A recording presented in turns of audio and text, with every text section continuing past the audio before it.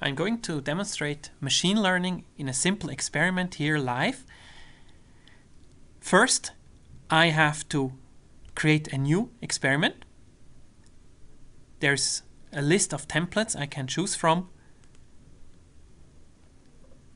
The list here is quite extensive. There's an experiment tutorial or what I'm going to choose here is a blank experiment and this experiment is uh, presented to me as a blank canvas in the center, as components to choose from on the left side, and properties on the right side. What I first need is a name. I'm going to call this the income experiment. And uh, there is the option to import data.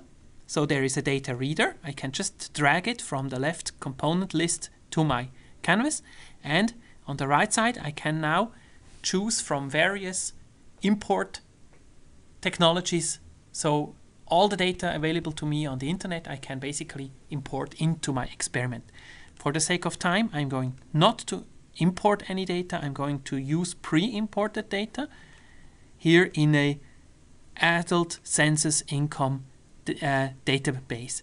This database I can visualize by clicking on the circle and selecting visualize from the menu and you will see the data here. I have 32,500 records of data uh, say giving me a lot of information about uh, census data available, age of the person, education, marital status, occupation, relationship, race, up to the income.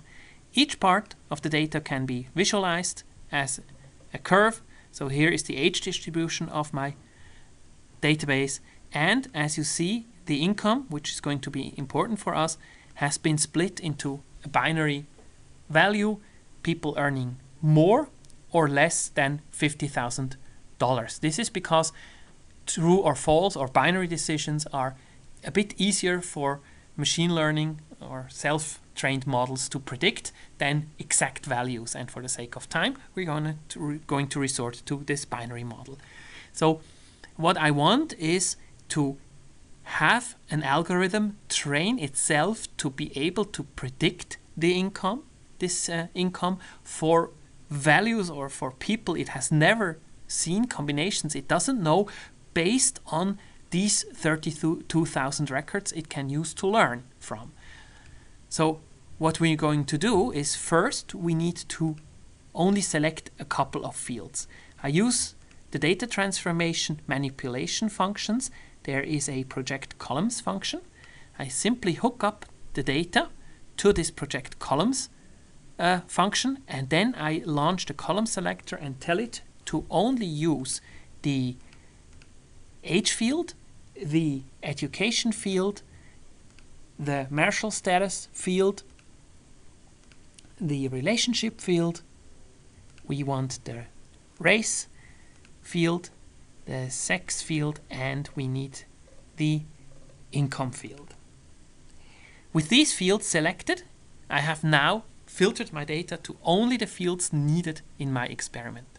Now I want a machine learning algorithm that is good at predicting this kind of data.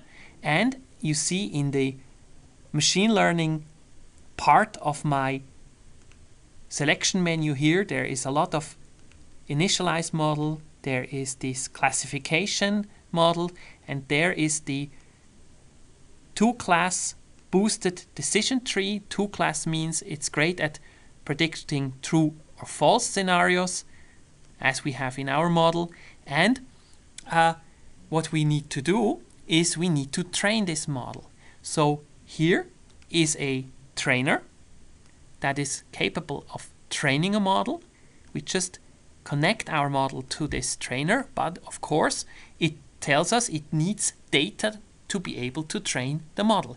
So what we want to do with our data, we want to split the data. There is a split data function and we connect our data source to the data splitter and we just tell it to use 80% 0.8 of the data uh, to be fed to the left output here, result dataset 1. And this one, this 80% of the data we have, we feed into the, our trainer. And then after that, we need to tell our data model trainer that the field called income is supposed to be trained. So the model, the trainer now knows that the model is supposed to be able to guess the income based on all the other data it receives. After training the model, we want to score our model, see how well it has performed, and then we want to evaluate our model to visualize its performance. We just connect these together and we basically have an experiment that allows us to um, tra train and then score a model.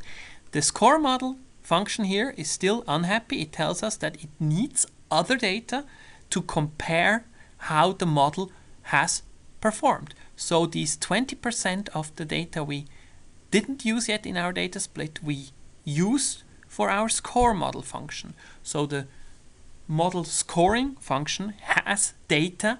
It knows that the trained algorithm has never seen before and it uses that data to find out if the algorithm actually is capable of guessing a person's income. So now we save this experiment and we run it, meaning all the steps we have now put on our canvas are going to be executed in the cloud. So not on my local computer. I don't have the uh, computing power on my laptop here, but it is actually quite quick in the cloud to execute this model and I can now visualize the evaluate model point here and I'll see a curve. The curve leans to the left, which means that it is very precise in predicting or quite precise here in predicting the income of a person. Would this curve be exactly in the center diagonal, it would mean that the model is absolutely guessing randomly and having about 50% of proper guesses. Would it lean to the bottom right side of our field here, it would mean that it is very precise at always guessing the wrong answer, which doesn't make it a bad model, because if you create a model that is always but very, very predictively wrong, you can use it and just always take its the opposite of its answer to fulfill your your computing need. So now we have created a model that is about 80% right, usually here as I see there is more detailed data down here that I'm not going to explain now, but we can now set up a web service. So meaning we can tell our system to save our trained model in a finished trained model that is going to be reused and published as a web service. I want the entry point of our web service to point to where we actually feed data into our experiment, our model, our trained algorithm, and the output be the answer of the scoring of our model, meaning seeing how well, what the answer would be and how precise it would have been. One thing I'm going to change here is I'm not going to provide the income at all because the model has now learned to be able to predict the income by itself. The web service basically is a function in the cloud that allows me to connect any software to this function and have my software ask this service, this web service, here is some data about the person, what would the income of that person be? And the web service responds with a value and a percentage of how sure it is. That's why we connected to the score model function. And that means it's usable in other programs. I have created a programmable interface now that allows me to predict incomes. I save this. I have to run it once to be able to publish it. I publish my web service after it's run. And then I get all I need to test and to productively use this web service in my other systems. This may take a second here. But here is the interface. So using this these two interfaces here, I can now talk to from any piece of software in the cloud or on my computer. Here is the code needed even to this trained model, this machine learning trained model, or here is a test function. I can now enter a fictitious person. Let's pick 44 uh, years age, doctorate, uh, married, safe spouse, relationship is own child, and the race would be white, and the sex uh, female. This person, it's all the data I'm going to deliver, is going to be evaluated by our trained algorithm, and the result is this person would earn more than $50,000 with a chance of over 90% here, 0.9. That's the accuracy that the uh, algorithm predicts for this uh, answer from our trained model. This concludes this small demonstration of machine learning and I hope it showed how easy it is to get started. Still, it's a complex field of data science, but it is very easy to get started with a small model and grow from that for any system you want to create.